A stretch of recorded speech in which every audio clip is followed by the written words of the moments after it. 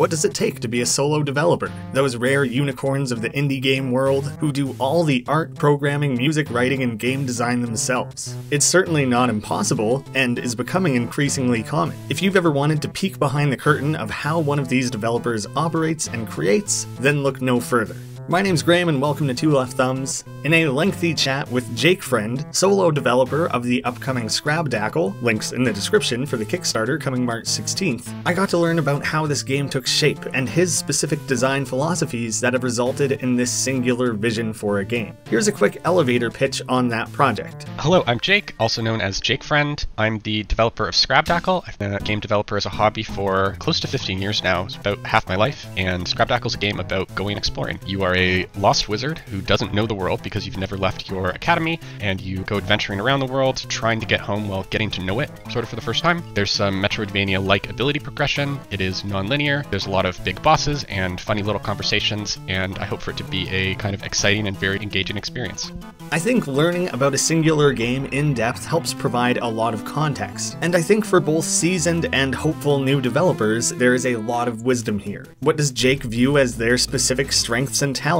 Which softwares and systems does he recommend? Who specifically influenced him in all aspects of creation? What does he view as the pros and cons of working alone? And to cap it off, a selection of what I found to be the most commonly asked questions for solo developers, including things like how to get started and how to stay motivated. Let's open things up by inquiring how the main story unfolds in a non linear game.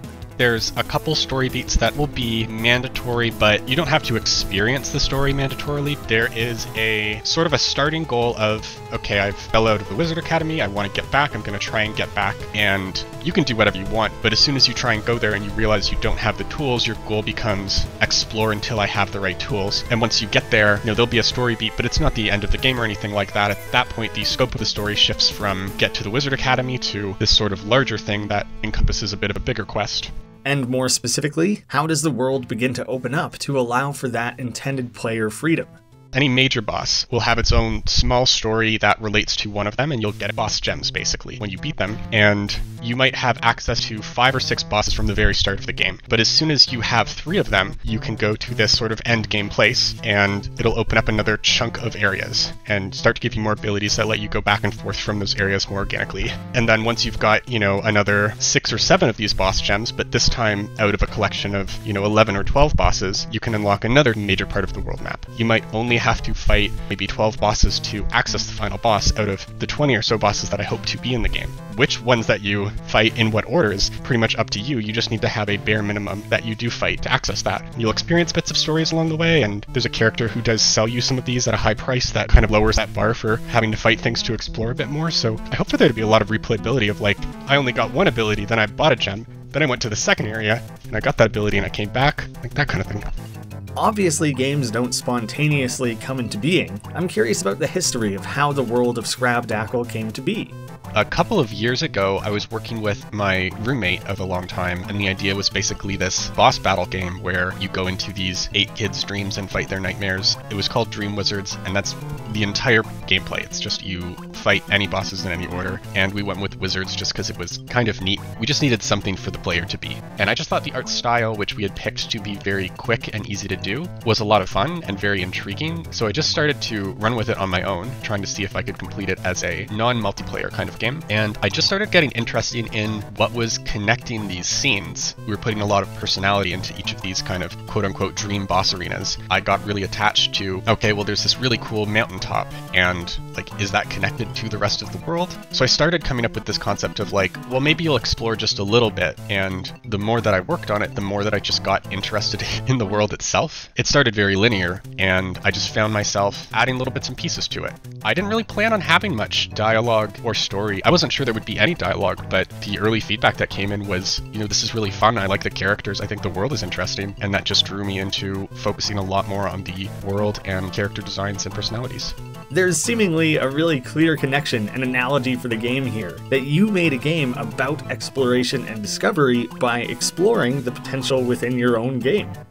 Yeah, it's it's funny that almost the reason I started to turn it into a, a more of a world exploration type game is kind of just because I found the art and aesthetic and environment very compelling for some reason, and that ended up being the same thing that my players found more compelling. So I've really let myself be drawn into this kind of communal direction of this is a neat world. Sure, it can have bosses, sure, it can have gameplay, but this is like a fun place that I'm interested in.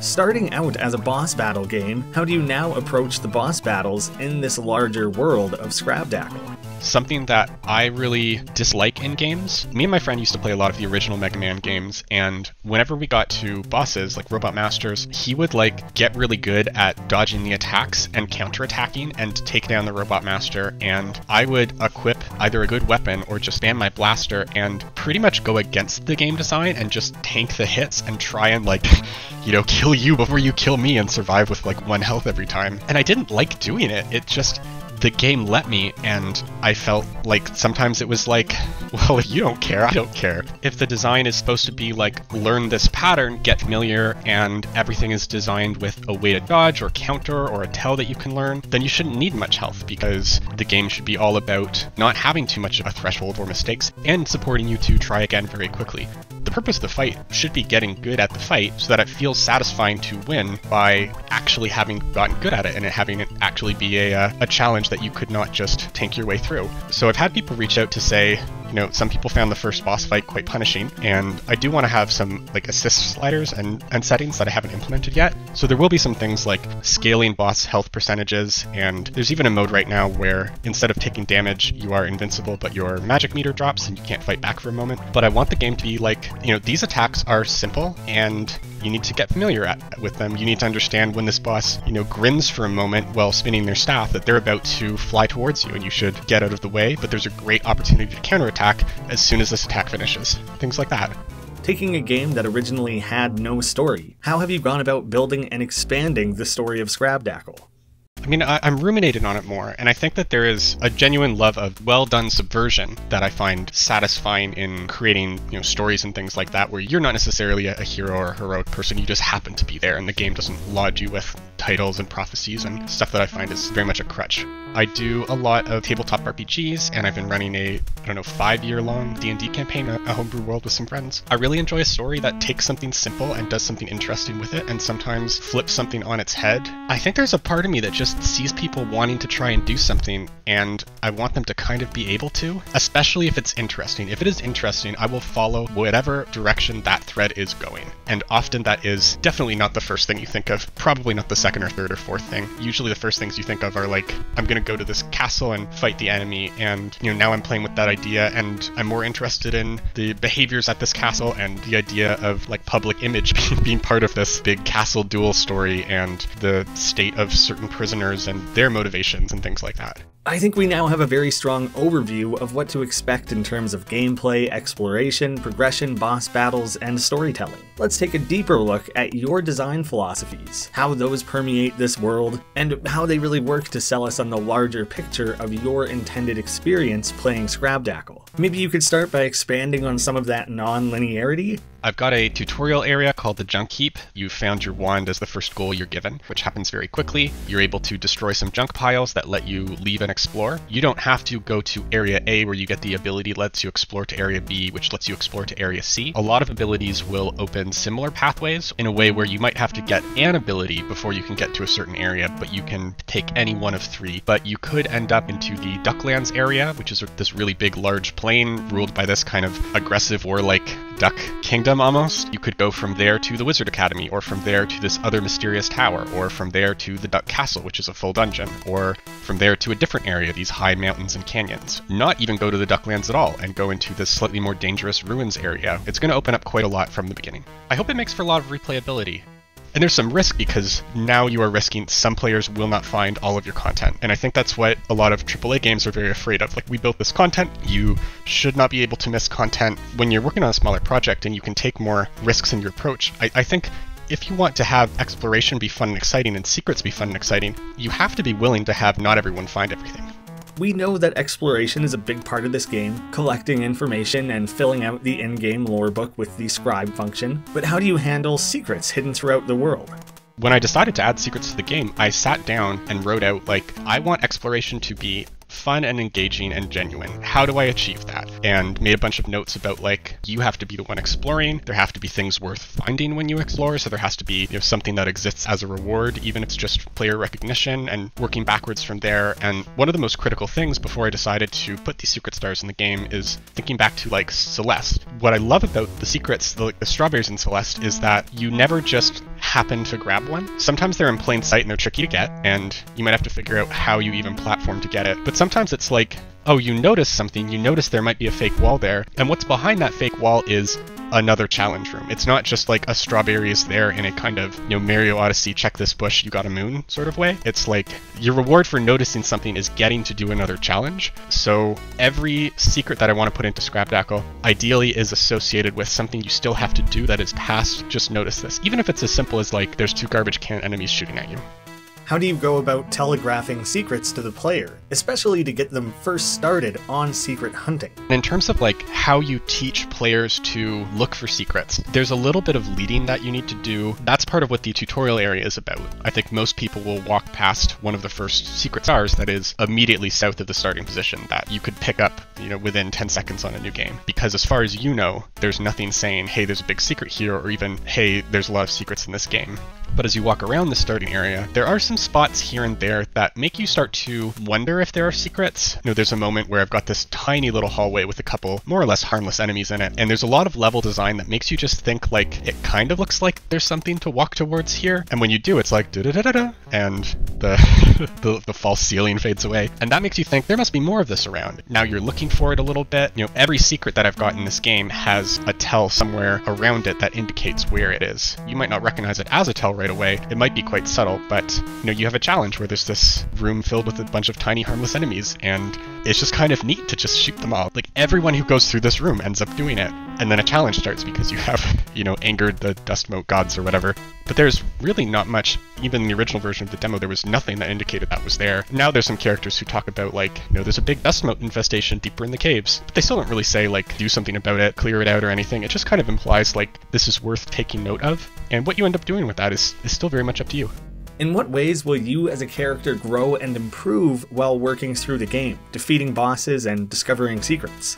And just on a personal level, I don't like rewards that are now your number is a little bit better. That can work great in a game like Risk of Rain, where it's all about breaking the game over time through large accumulation of minute percentage increases. But for something like this, one of the only things I didn't enjoy about Hollow Knight is you get your nail upgrades, your weapon upgrades, and you do you know, something like twice as much damage or you know 60% more damage, and that's okay. But you can upgrade another like two or three times after that. And there's a point where like you don't really have to worry about the combat as much because you are just a god. You will just walk around smashing things into dust. And I think that's too powerful. I would prefer instead of giving players power increases vertically, I would rather horizontally give them power options. So most of the abilities you get in the game aren't necessarily going to be stronger than your initial attack, but they'll open up different ways to attack or different combat styles that are valid that might have certain ups and downs in different situations or maybe this one is stronger but it's lower to attack with or drains more magic. So you really want to wait for that perfect moment to drop like a yeah lightning bolt down or whatever it is. It opens up some interesting you know, design challenges and stuff too. I don't want to have that Breath of the Wild situation where because you have the same abilities the entire game, the difficulty is still low no matter where you go. So much as like you can still require certain things and be challenging as long as you've made sure the player has that equipment with them. So I might have a fight that is all designed around sword play and counter sword play. I will just make sure that you have the sword-like weapon before you get there. I let you get to the Wizard Academy at earliest as the second major area that you could tackle. It's meant to be a little more mid-game, but you could do one area and go straight there and have your basic wand attack and one other attack that you picked up to unlock the area. You will be able to have a very hard boss fight, but I have to design it so that it is possible for the player to win with any single one of these three valid ways to access that area, which is cool. It's challenging, but it's cool player wants to go do something. My design philosophy is like, cool, have at it. I'm not going to stop you with cutscenes or broken bridges or whatever. Speaking of that player freedom, Scrabdackle has this unique system of conversation engagement. How did this leave any time dialogue system come about, and what are some of the challenges that come with that? I just want the player to have as much control as I mm-hmm. can. There's been some very difficult design challenges. If you have a screen where you can walk up to a character and, you know, they talk to you a little bit and you walk away when you're good, that can be very enjoyable to a player. But there can also be these moments of like, well, if they're not locked in, there's all of these edge cases for things that could happen. Like the way that I've been writing dialogue, I had to kind of build this side tool to do it because if you're meeting a character, the initial conversation, you go up to them, you talk to them, it might be like, Ah, who are you? Oh, I don't know. Oh, I'm kind of about this. Are you interested in this? Oh, hello, little wizard. And they'll sort of slowly work towards the end point of the conversation, which is, I will sell you this cool thing for a lot of money. But there are a lot of moments where you walk away from this conversation, and what the character says when you leave has to reflect how far you have made it through that conversation. And when you come back, they might say something different, like now they know who you are, even if they haven't introduced themselves as a vendor. So there's sort of this like series of flags that gets tripped, and each series of flags usually has their own approach or walk away dialogue. This particular character I'm talking about, the snake, has a whole series of dialogues for if you approach them without a wand at all, you have no way to get money. And if you have no money, they're not interested in you and they'll tell you to go find the wand. But, you know, you might come back having talked with them about that, but still don't know they're a vendor and it's become a little bit crazy. It's it's cool when it works, but it's it's a little wild to think through. There are some characters who, if you walk away, they might like assign a rude flag to you and be a little snippier when you come back. Or uh, if you walk away, sort of like cry out for your attention or something to that effect. Yeah, I think the majority of games lock you in at least to the first conversation where you're introduced. And at that point, you can choose to walk away or ask more or whatever. But when you come back, it just goes to the welcome back, you already know I'm a vendor, you know who I am. And if the writing doesn't feel accurate to that experience, then I've kind of damaged this heavy emphasis on world building character that I've been trying to pull off. Another standout system that I've seen take shape from the first demo to now is the totally reworked health bar. Can you explain that evolution and shed some light on the new corking system? The way that it currently stands is you've got a set of five vials with, you know, pink potion in it that basically represents your health. You can take half a potion's worth of damage from something small, and the potions kind of uncork as you go, but they do not recork as you pick up small bits of health. Only when you save the game and totally refresh your health do the corks go back in. What I had started with, going back to Dream Wizards, was like four colors of wizard, and they each had their own potion color, and that was their health for this little local multiplayer thing. And the potion bottle drained as you took damage, and then smashed when you uh, ran out of health and had kind of the smoking remains of the uh, the burnt potion bit there. And the first thing I did when I was working on the demo was basically just copy that over. I knew I wanted a small amount of max health, and it felt fine to have a potion where potion full, health is full, potion, you know, down a couple chunks, you've taken a few hits. It, it felt in my head very clear before I had played it out. But a lot of problems showed up, you know, fairly quickly, mainly being that you couldn't really easily eyeball what your health was, or if you were in danger, because 3 fifths and 2 fifths in a swirling potion bottle looked very similar. So I had to have a number on it, and then I realized people were just looking at the number. I want the player to think of potions and not 9 out of 10. So I needed a way to abstract that clearly, where it's still better delineated along the equivalent of your health bar. So this was an idea I had really early on. I wanted to find ways of kind of rewarding the player for being like skilled and pulling off like really impressive stuff, not getting hit, things like that. And you know, the entire combat design is the idea is that in theory you should not be taking any hits if you're really practiced, you know what you're doing, you're familiar with the tells. It should be possible to not get hit at all. Maybe maybe very hard, but possible. I really like this system that did not punish players for not being able to do this, but does kind of give you like this visual reward if you are streaming or you've recorded to YouTube or you're showing a friend that you finish the fight with all of the corks in place. So at the end of the fight, it doesn't matter where your health is at, the corks tells the story of your kind of low health watermark of how rough did it get, how how close of a fight was it. And if you have all your corks, you're untouchable. You didn't take a single hit. And if you have, you know, one cork left, it's like, whoa, yeah, I picked up some health at the end, but that was really close. Like, it, it, came down. Maybe you have no corks. You came down to half a potion's worth of damage left. But I've got lots of options I can do with this. I can have, you know, achievements if you can complete a battle uncorked, or corked, or whatever, the, without any corks being popped. This is something an Untitled Story had. It's a game by Maddy Thorson from like 2004 or 5. There were a billion health upgrades in that game, and you could become you know, real chunky, real impervious to damage if you went and explored. And I think the game design was not expecting you to 100% it. One of the things that having all of these upgrades does is if you do go and get them all, it's kind of not fun to bulk your way through a challenge and you run into that Mega Man problem of like, well, if I can tank this fight, I might just do that and it'll be less fun for me, but I'll still do it. So an Untitled Story has, I think they're called heart doors. These are little challenge doors that only open when your health is at max when you get there. It doesn't matter what that maximum is. So you'll find like, might only be a two room platforming challenge where there's a safe save point that heals you at the start of it, but you have to learn how to do that perfectly to be able to pass through this door. And there's a lot of secrets and a few like very late game, especially hard areas that are locked off this way. And I think that's brilliant. Like I think that is so smart because it lets players have as much kind of difficulty buffer as they want for certain parts of the game. And if you really need to be like, nah, this time you have to get good, you have an option to do that that's built into the game. So I could easily have a, a cork door and I could do the same thing where like, now this reward is optional. Doesn't you don't have to get it and you're totally able to, you know, get hit in this section and heal and move on. But if you want this special, special thing, you need to do this perfectly. So it's up to you.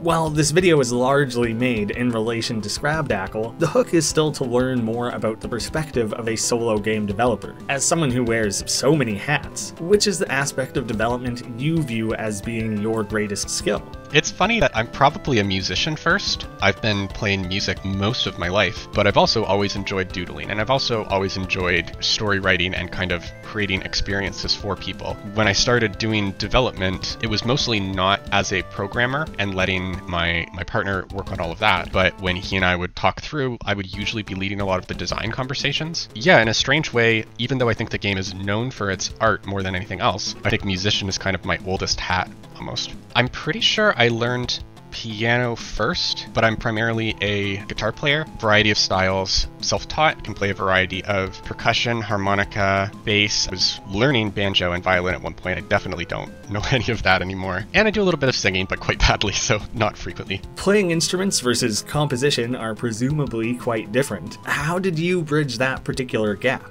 My theory background for music is, is very, very weak. I was talking with a developer friend who was kind of talking about he's getting into composition. How did I get into game composition? And you know, I don't even know what key I'm working in most of the time. I'm just going with, like, I, I think it needs to go this way, and it's going to go that way, and it just pulls together in the end. Are you leaning on some of those musical talents, utilizing the ability to actually play instruments and recording any of the music live? It's 100% digital. I've done plenty of live music recording in the past, but it's not a aesthetic that I'm going for with this game. I'm basically using a piece of software called PT Collage, which was built by Pixel, who was the developer of Cave Story, did the music for Cave Story with this tool that he built himself, which is still wild when I think about it. It's a bit dated now. It's a little too old and missing some quality of life features for me to properly recommend it, but I've been using it for about 10 years. And when I want something that feels a little bit more old school and chiptune that's what I go back to. Notes last the exact amount of time of uh, an eighth note or a fourth note that I need. There's no imprecision about it, and that's very deliberate. No velocity considerations or anything like that. I'm not playing a digital keyboard. I'm clicking my notes in where they need to be, really. To give inquisitive viewers some extra valuable info, you know, if they plan to utilize any of these softwares themselves, what sound libraries are you using? I'm using this big collection of sound libraries that was released with it. It's a free, I believe, donationware piece of software that for quite a while was pretty popular, and there were a lot of little free sound fonts available with it. Most of the stuff I'm using are kind of emulating real instruments. So Scrabdackle has a lot of sounds that are like, you know, reminiscent of brass, reminiscent of sometimes flutes or, or strings and things like that, as well as your classic percussion that's that's very much like this old 8-bit like kind of thing. Yeah, it's just mixed in with uh, a little bit of echoes and delays when I need something to sound a little bit more spacey or haunting. But it's uh, it's ultimately just a, a chiptune program where I'm trying to make things that remind me of those old experiences of playing these old Game Boy games where the worlds were huge and it felt like anything was kind of possible.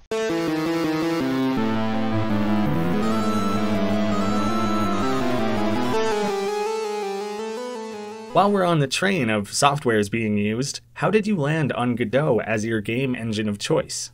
I've been using Godot for not quite a year, actually. I picked it up when my friend was working in it and suggested that I give it a try because it was uh, free and open source and there was sort of no harm. I didn't really have a lot of confidence as a programmer. I have done some other programming work, non-game related stuff in my life. I think because I had a lot of friends who were very heavy into computer science and things like that, I almost thought it was like not my territory to go into. So the rare times that I would be working by myself on something and handling the programming, I would be working in these visual programming type tools like Construct and things like that. You know, it's good for learning. Honestly, I think Construct is really good for prototyping, but it's not good for a full-size game or scaling. And there's a lot of ways that once you know what you're doing, you're, you're holding one arm behind your back when you're trying to work. And I just thought that, you know, that was all I could do, and I, I, I wouldn't be able to learn programming because my genius computer wizard friends who had all this background with these intense comp sci courses, you know, if they could do it, how could I do it? But I'd been frustrated with my last project where I wanted it to be something larger, and I was really constrained by the engine. I really like working in 2D, and I had heard that Unity isn't really great for 2D. It's a much more 3D oriented engine, and I thought, yeah, sure, I'll give Godot a try. It's free. I'll just put this old project back together just to get familiar with it, and um, then figure out what I want to do from there.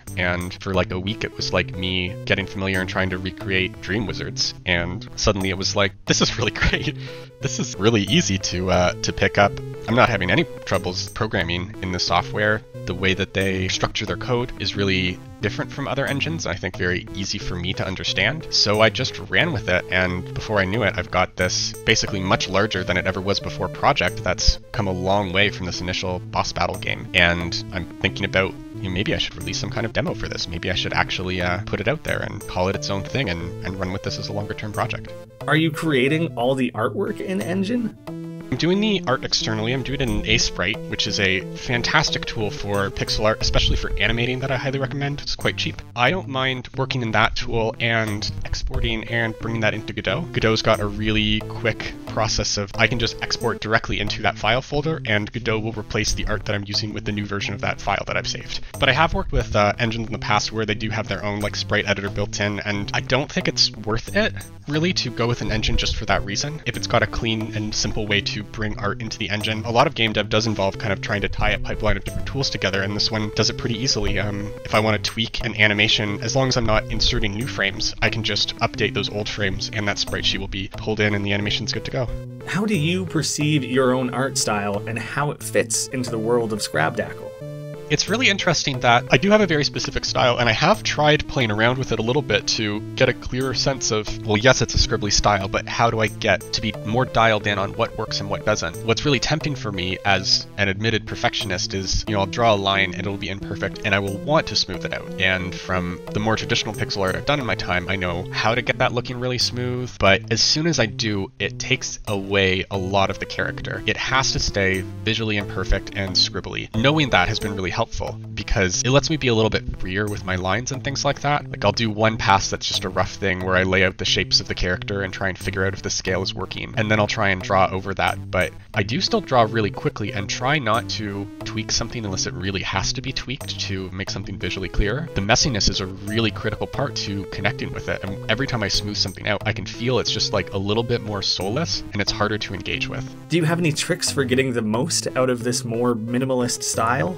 the the expressions in the character are like they're very simple. They kind of make the characters look a little bit dumb, which is fun because there's so much that the player can mentally add onto that while still giving you like a base to work with with. You can do so much with characters that look just a little bit dumb because they can surprise you by being witty. They can get players to be, you know, like a little bit like annoyed or frustrating sometimes. Uh, I love having characters that are just a little bit too stubborn and a little bit in your way and unwilling to listen to what you have to say or preoccupied with their own thoughts. It can sometimes be a little difficult to pin down who influenced our artistic, comedic, musical, or really any other creative endeavor. I imagine it becomes all the more difficult when you do it all, but hopefully you could walk me through who you view as your biggest creative influences, starting with musical stylings? I'm definitely pursuing a certain style, and I think it almost goes back to, for the more exploration based tracks, kind of that classic Game Boy era of like you have your Link's Awakening, Oracle of Seasons, Oracle of Ages. Those games did a really good job alternating between some bigger tracks that were kind of constantly playing and driving you forward a little bit, but also these eerier, slower exploration tracks where the music kind of comes in and pauses and just lets you sit for a moment and then comes back in and it's very delicate and non-intrusive. As well as things like wario land 2 wario land 3 where there's kind of this silliness or, or quirkiness that uh, really informs you what kind of world it is. This is eerie this is serious but still kooky and I, I really like that. Heavy inspirations musically for the game. How about artistic? Something that's kind of funny here is I didn't really think I had any influences, but the other day I was going through some old stuff that I hadn't looked at in, in years and years, some of the archives of MS Paint Adventures. There's so much more influence of the problem sleuth style of art from back when Andrew Hussie was doing that before um, it became much more like involved in serious art of the, the things that happened later. I had no idea how subconsciously that had influenced me, but when I look back, it's like, oh yeah, oh yeah, I see that. I see that in the expressions. I see that in the scribbly but serious style. It's uh, you know, it's not exactly the same, but you have very simple facial expressions, very simple but kind of interesting shaped body shapes, a little bit of stick limbs for when things need to be expressive. This is more abstract, but are there any seminal games or gaming experiences that influenced how you craft the exploration in game and delivering those secrets?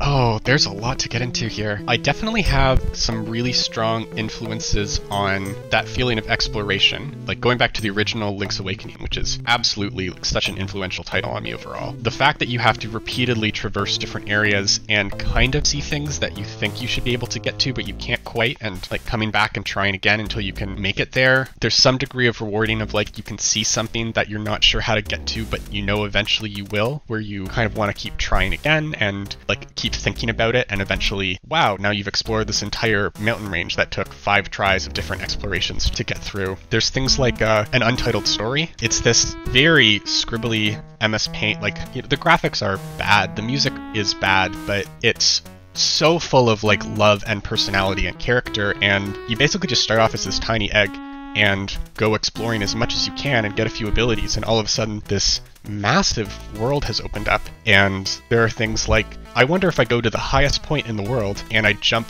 and I hold left as much as I can, if there's something I can fall to that I couldn't get to before. You try it, and all of a sudden, just for a moment, you pass through this area that looks like a giant floating pyramid or something. And it's like, what? What was that? That's crazy. And you can't really get into it but now you know it's there and you realize you've seen a save statue as you passed by and you can teleport to any save statue that you can see. So you try teleporting to it and bam, now you found this giant sky pyramid and it's an entire dungeon. It's it, it's so rewarding to kind of wonder and then test that wonder and find something.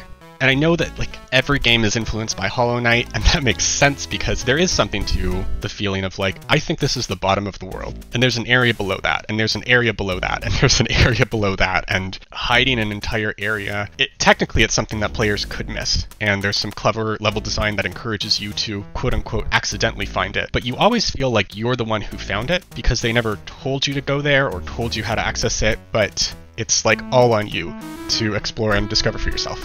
I have a few questions that I think might provide some insight into what it means to work as a solo developer before moving into that list of most common questions. First off, do you still feel the need to write out a full design document when the game is all coming from your own head? I used to write a lot of design docs when I was younger and I just had a lot of spare time and I didn't think I could make something myself, but I could design it. And I would write down all of these details for here's what the gameplay is like, here's how much health things have. It would, it would get into a lot of detail, like here's sketch maps of the world, things like that. I've basically given up on design documents as a individual. I'd want to use one if I was working with a team, but I'm iterating really quickly. I have a strong sense of what the final vision should feel like and the general size and scope of it. And I don't want to keep writing things that will be constantly needed to be updated or fall out of date. Like initially, exploration was not really a part of the game. And to go back and update a design document that would have 100% been about combat and bosses and you go from here to here to here and kind of reframe it to like almost have a fundamentally different core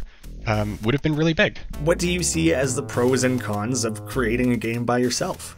The advantages mostly lie in creative control, singularity of vision. I know what I want even when I am iterating and going against ideas that I thought were locked in or looking for feedback among the community. The end picture, whether or not I can articulate it, is clear in my head, and I can always work towards that and spend a little more time on something that I think is interesting or intriguing to me. There's also some uh, other upsides, like I really like to work a lot. I really enjoy working a lot, and when I work with someone and throwing out assets, throwing out design, design stuff, like just producing very, very fast, and it's not as fast as they want to be working, it kind of ends up feeling bad for both of us, even though it's like no one's really at fault. But you don't have to worry about whether or not you're keeping up with somebody or whether someone's keeping up with you. But I do think aggressive prioritization is a really critical skill. Coming professionally from a background that includes a lot of project management and systems implementation and consulting and stuff like that, I think I've got a pretty well tuned sense of like when you need to break away from something or basically how not to just work on the fun and easy stuff and push the rest off to the side. I mentioned earlier this game started up as a boss battle game and that basically came from A, I, I love a boss battle in a game. It's one of the most exciting parts of a action type game for me. And B, I just think that designing them is so interesting and fun. And to date, about nine, eight or nine months into working on this project, I've still only made one boss, even though that's the main reason I started working on this and the thing that I'm the most excited to do because there's just all these structural systems that need to be worked on first. There's elements of polish and usability for players that needs to go into place. You know, just uh, not letting yourself tackle some stuff that you want to because it's uh, it's not as much of a priority. That uh, is a consequence of prioritizing some other things. Usually, this is something you work through with someone else, and you come up with a pipeline that makes sense. Doing it all yourself, there is a unique loop of creation that must take place when you aren't working tied to someone else. When juggling form and function, do you find you tend to lead with one or the other? So I do have some situations where I start off with a need for something. I have a gate. I want there to be a creature that blocks you from going forward until you have a wand. I think that maybe pushing the creature out of the way with a wand is a good idea. No, let's make it a little bit more of an introductory fight, and it eventually evolves into this kind of first mini boss fight just because something felt right to be there and I expanded on it and started from the idea of I need something mechanical that prevents you from going forward until you have demonstrated skill with this uh, combat ability. But on the other side, sometimes it's like, I want to battle on a big bridge. I want to have a big bridge and there's a big battle. Or I want to have you fight two things that work in tandem and they're like partners or something like that. Or I, I want to have you fight a big evil skull that might be the motivation for me to build all of the things surrounding that rather than the other way. So whatever whatever's gripping and compelling, I just tend to spend more time circling that as form and function grow closer together until it kind of feels like I found the center point. I think one of the biggest benefits of working independently is that I don't have to pick which of those aspects comes first, and I can sort of constantly be in this dance around the two. Surely, there is something that you feel is most lacking in your toolset. What slows you down the most, or is the thing you would most readily hand off to someone else if you were to ever add someone to the team? Background art. character art for me is so engaging. I love designing characters. I love figuring out how to represent certain qualities and really minimal amount of detail that I can get away with. And background art is like, it's like a different language. It's like I don't understand it as art and I don't know what I'm doing and everything looks and feels bad. But you can't, you can't like have a game without a background, really, unless you're doing something abstract. I think one of the biggest things that I feel kind of, um, you know, disappointed in or like a bit shameful about is like the ground is mostly just a color. And there's so many amazing indie games out there being worked on, and you scroll through Twitter and it's like these environments are gorgeous, even ones where the art quality is a bit lower. Like there's so much fun decorations and things like that. And I could sit there for like three hours trying to figure out how to get a like a lamp in a corner and hate it the whole time, and it, I won't be happy with it, and I'll cut it in the end. Making the wall for Peanut Village, it's just a wall. It's like a square wall. It is as simple as it gets. Was hours.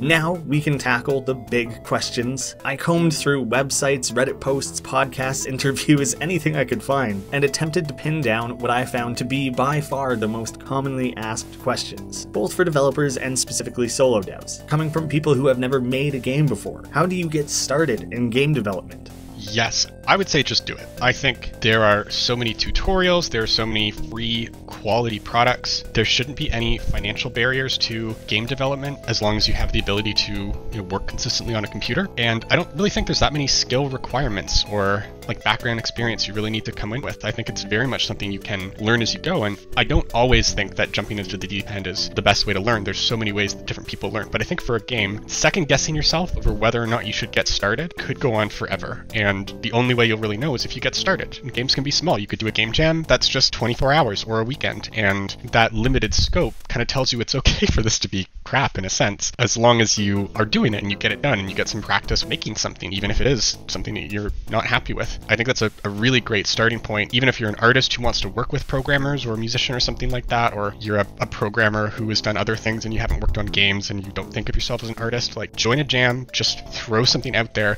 and it'll give you so much to build on on future things. And if your ambition is to make everything yourself, how do you get started as a solo game developer?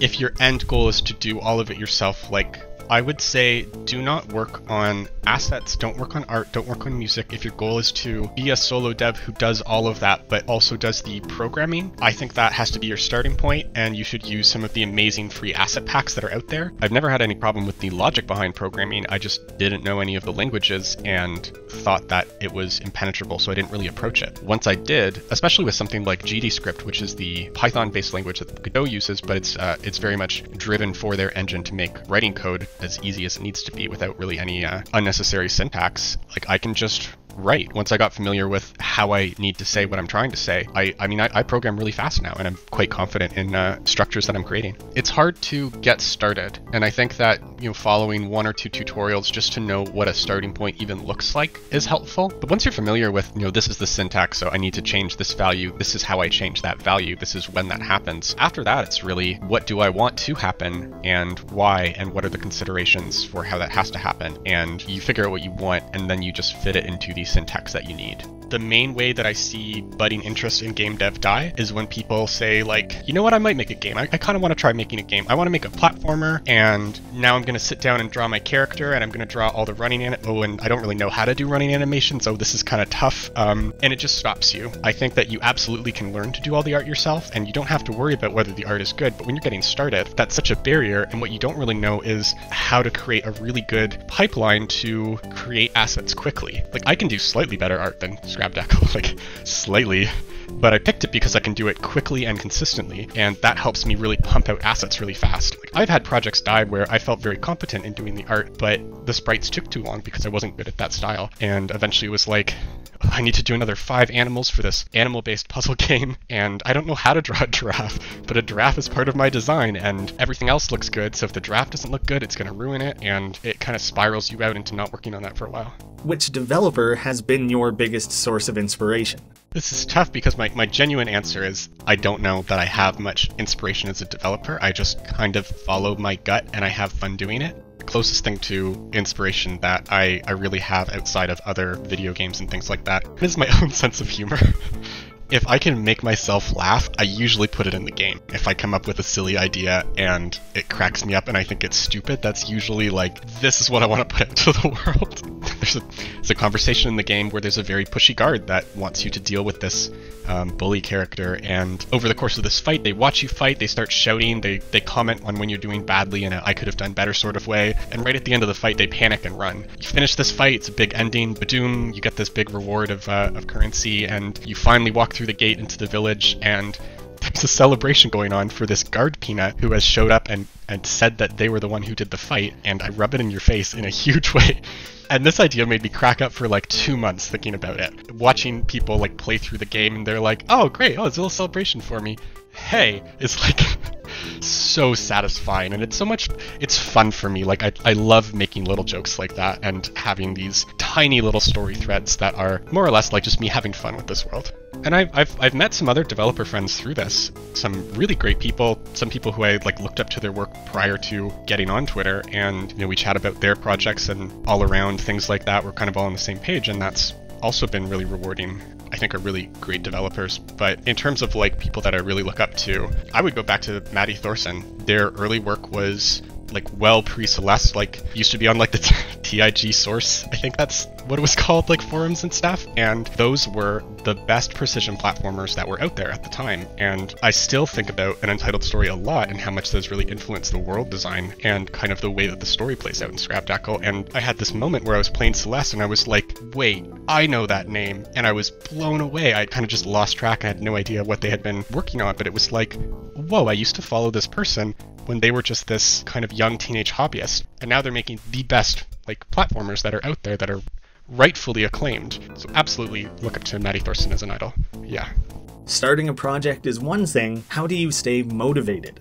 Yeah, I think my motivation is I just like doing it. When I am, you know, excluding like very late at night when I'm I'm tired and looking at my screen it kind of hurts and I've got a headache, like working on a game is so rewarding to me. I had a week a while ago where you know, it's the holidays, and like I just sat down and worked on the game basically straight for a whole week, other than a, a few calls with friends, and I was so happy.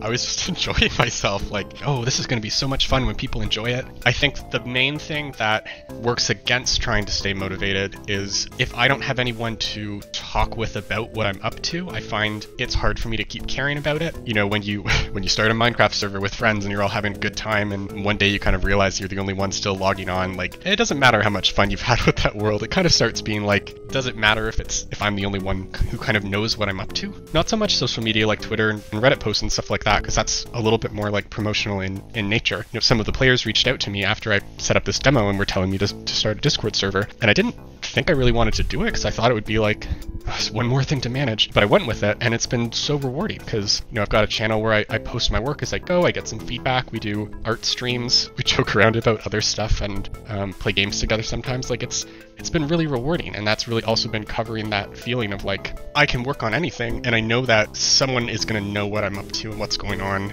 and it has external value to someone. And I think I struggle when I don't have a clear sense that there is external value to what I'm doing. Doing everything yourself, what do your days and weeks look like? On like a day-to-day level, I am working on whatever. It might be a day where I spend most of the day on music and then I sketch something and then I fix a bug. Might be a day where I'm working on one enemy start to finish from I kind of sketch out some ideas for how it might move and then I draw it and then I implement that. I might spend an entire day trying to work on like a, a color shader or games architecture or something kind of more back end like that, or just drawing art that doesn't even go in the game that's like promotional. One of the real joys for me about working on the game is it, it's like the intersection of all of my creative pursuits. And anytime that one starts to burn me out from working on it for too long, I can just swap to another. And it's refreshing. It kind of keeps me like almost constantly engaged and, and recharged. On a weekly level or a monthly level, when I started working on it before I thought it was going to be a full project, I was just sort of doing whatever from like a systems up point of view, like, you know, put in an enemy just so I have something to build a combat system around. I was showing my my dev friend roughly once a week. We kind of talk on the weekends, and it turned into like, uh, I'm going to try and get to this milestone before I show him. I'm going to try and get to this milestone before I show him. And over time, that just kind of evolved into organizing it by sprints and figuring out at the start of each week what was going to be in the next sprint and then just rushing to try and get it done. But I, I really like that because it's like you're being a lot more flexible. You know what the priority of things are, you know what the effort of things are, you have a rough idea of all of the tasks involved, and you're selecting which ones make the most sense to group together in a very short way and revisiting at the end rather than planning out this whole big thing that might start to fall apart as it meets reality. Once I put the demo public, I kind of shifted to a larger scale approach of that where I'd have an update with a specific focus and I would group together whatever made sense. So Peanut Village was an update, and obviously Peanut Village was in that update, but it also had a lot of the NPC control systems that will let me do other NPC types in the future also being kind of randomly generated and walking around and, and things like that. It had an updated event system that I used for the kind of hint store person in the village. Had a few other things, but like everything that was related to Peanut Village, I kind of grouped together by not just content, but also underlying systems. And uh, that's kind of helped me organize a little bit. I think once I'm finished with demo related work and I just put my head down and start plugging away at a full time game, I'll probably do it something like a big sprint on enemies and bosses for a while, a big sprint on abilities for a while. I, I, I, never stick with just one thing for too long. I'll probably cut back and forth a little bit. It's just an inevitable part of how I work. Do you still enjoy playing games in your free time? It has honestly been a while since I played much just for fun. I play games with a few friends at kind of consistent times across the week that like are a lot of fun, but I probably wouldn't be doing it just on my own. More of like for the social aspect, it's very enjoyable. I do a lot of cooking just as a, a side thing when I need to step away from screens. Uh, I think the only game I've really been playing just to play, just as a single player thing in a long time is uh, I'm, I'm just playing some Factorio. You, you know, you have to think about how your factory works, but I kind of like that I can just turn off my brain and there's this great gameplay loop of a series of small incremental things that are constantly clear what you might need to work on. And yeah, just turn off and okay, we need a bit more iron. I'll go get another iron mine. And are there ever any concerns about playing games that share similar genres, mechanics, or anything else in common with Scrabdackle? I feel very comfortable with the idea that like games repeat a lot of the same elements and it's not like by intention to ape things. It's just like, hey, you play a top-down game, you're gonna have the same types of attacks and combat. Same for like, you know, side scrollers and stuff, and it's much more about the execution for me. You know, I don't look at something and be like, oh, I was gonna do it, but they did it really well. But I don't really play much on my own because it's like if I'm playing something, I'm not working on the game, and I really want to be working on the game. It, it's a little bit hard to turn off and justify stepping back to not be productive in a way that you know, it's healthy to not always be trying to be productive. But if I'm going to do something like that, I need to have that time set aside in advance so I know that it's, you know, even if it's like a long weekend, I'm not going to do anything productive. Like I know that's kind of a finite period in my head and I've self-approved it in advance. I will tell you, when Silksong drops, I'm I'm shutting my doors for like three days, four days, however long it takes. I'm still blind. I still not watched the trailer. I, I got into the first game blind. I'm going through this one blind. I'm gonna love it. Thank you so much to Jake for their detailed answers and for putting up with me for such a lengthy interview, but I think it acts both as this amazing highlight reel of Scrabdackle, as well as this generally applicable insight into someone making a game by themselves. The Scrabdackle Kickstarter is going to be live on March 16th. There's a pre-launch page up. You can check it out. We've got some really exciting rewards for designing your own characters and creatures and boss fights and things like that, uh, as well as some really exciting stretch goals that are all kind of story-based content. Would love for you to check it out, be notified when the campaign launches. It's going to be something really exciting and special. If you guys couldn't tell, I'm sure it was obvious, this is a pretty heavily chopped up video. Jake and I talked for three hours, and I really cut and reworked the questions to push it along in a more efficient clip. But there was so much cool insight here that I couldn't help but allow it to still be a long video. Hopefully it put into perspective how much work that is. And there's obviously a lot of risk involved. If you want to support Jake and you want to support the world and game of Scrabdackle, the Kickstarter is live on March 16th and will be running for one month. I'll have a link to that down in the description and a pinned comment. Please, please go give that a look. I promise you will not be disappointed. The free demo is already incredible, and that's only a tiny corner of the planned game. Thank you all so much for watching, and I'll see you again soon.